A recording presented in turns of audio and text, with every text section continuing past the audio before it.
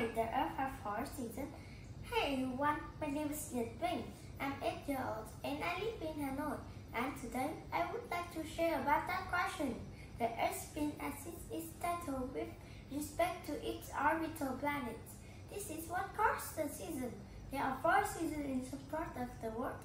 All the parts have two seasons. That is very, very interesting that our country, Vietnam, has both kind of seasons. There are two seasons in the south and four seasons in the north. In the south there are rainy season and dry season. In the north there are spring, summer, fall and winter. Firstly is the spring. Spring has the temperature gradually warming up. Next is the summer. In summer it's sunny, so the temperature is high and it's hot. Especially the day is longer than the night because there a lot of sunlight, so it takes a long time to change the day to night. Moving to the fall. Fall has the cool temperature and the leaves change color red, orange and yellow and start to fall down the ground. And, and the last one is the winter. Winter has cold temperature. It can be freezing.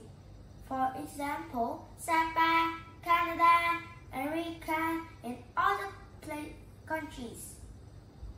And especially the day is shorter than the night because there are a lot of clouds. So it takes a short time to change the day to night.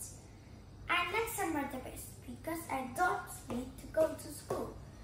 Moreover, I can go on holiday with my family and get and I can do things I like. For example, play football, play basketball, go to swim. So I have a strong heart. There are a lot of fruits that I can tasty fruit that I can enjoy it. For example, watermelon, lychee, coconut, and mango. And we can absorb many vitamin D from early morning sunshine. It's very, very good for bones to grow. Recently, summer is hotter and winter is warmer because the global warming. There are four in order to help the earth. We should protect it by saving the energy we use every day and put the trash in the right place so we don't pollute the environment.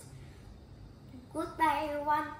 Thanks for listening. I hope to see you soon.